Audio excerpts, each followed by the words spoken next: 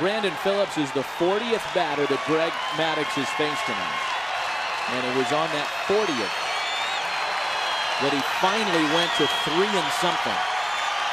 Got him! It's so often an overused cliche in baseball when it's said that somebody throws a masterpiece. Well, tonight's it was certainly appropriate.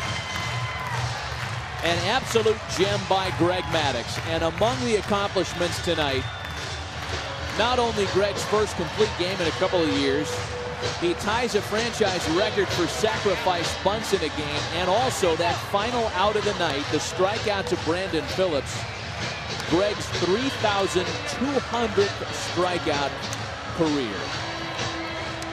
Absolutely magnificent tonight. There is so much to talk about.